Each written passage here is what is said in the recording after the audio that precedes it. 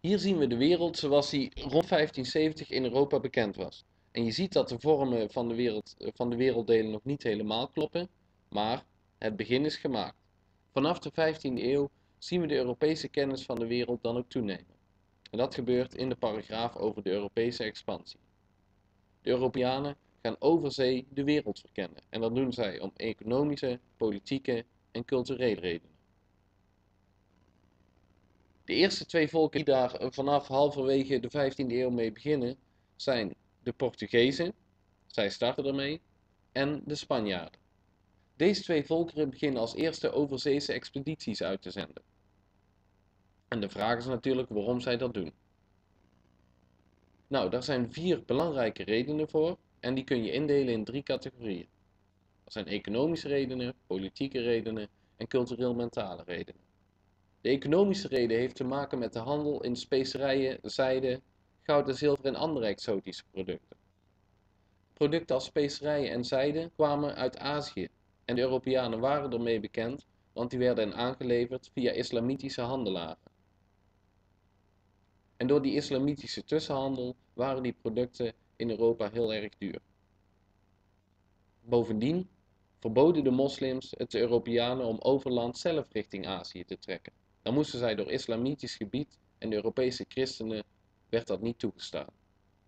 Er zat dus voor de Europeanen maar één ding op, als zij die specerijen zelf wilden gaan halen, dan moesten zij over zee richting Azië. En het doel van de Portugezen en de Spanjaarden was dus om een overzeese route richting Azië te vinden. Daarnaast zagen de Portugezen, maar zeker ook de Spaanse koningen, het wel zitten als zij hun macht konden uitbreiden. Als zij over de wereld gebieden konden veroveren die zij zouden kunnen besturen. Macht en aanzien speelden dus ook een belangrijke rol bij die Europese expansie. En daarnaast speelt ook het christendom een grote rol. Er gingen in Europa allerlei verhalen de ronde over legendarische christelijke volkeren die op andere plekken in de wereld zouden wonen. En de West-Europese christenen zouden graag met die volkeren in contact komen. Bovendien bood de Europese expansie hun een kans om het christendom uit te breiden. De rest van de wereld zou gekerstend kunnen worden. Hier zien we bijvoorbeeld de oudste kerk van Amerika. Hij is gebouwd in de tijd van Columbus op de Dominicaanse Republiek. Ja, en een tweede culturele reden is simpelweg nieuwsgierigheid, een zucht naar avontuur. De Europeanen waren ook gewoon benieuwd hoe de rest van de wereld eruit zag.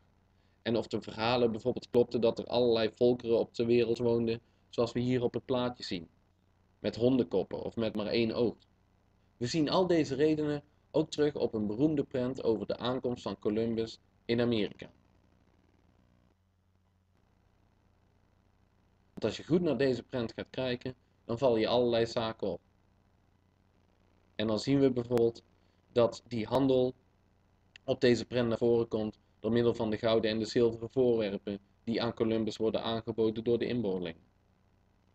De soldaten staan voor het politieke motief om op Europese expansie te gaan. Zij zijn er ter bescherming van de vloot, maar zij zijn natuurlijk net zo goed voor de verovering van een nieuw gebied. En de Spanjaarden gingen heel snel werk maken van het veroveren van koloniën in Midden- en Zuid-Amerika. Links op de afbeelding zien wij Spanjaarden een kruis in de grond slaan. Zij willen meteen het christendom in het nieuwe gebied gaan verspreiden. Ja, en daarnaast waren die inboorlingen, die indianen, natuurlijk ook wel heel interessant voor de Europeanen. Hun leefwijze werd onderzocht. En uh, dat levert ook een hoop nieuwe kennis van de wereld op. Nou, dus al deze redenen in combinatie met de technologische vooruitgang die de Europeanen doormaakten, die zorgden ervoor dat steeds meer Europese landen ook mee gingen doen aan die Europese expansie. En dan zien we dat ruim 100 jaar later, rond 1600, niet alleen de Portugezen en de Spanjaarden, maar ook de Engelsen, de Fransen, de Nederlanders en bijvoorbeeld de Denen de wereld aan het overvaren zijn op zoek naar nieuwe gebieden. En zo proberen de Europese volkeren steeds meer hun wil aan de rest van de wereld op te leggen.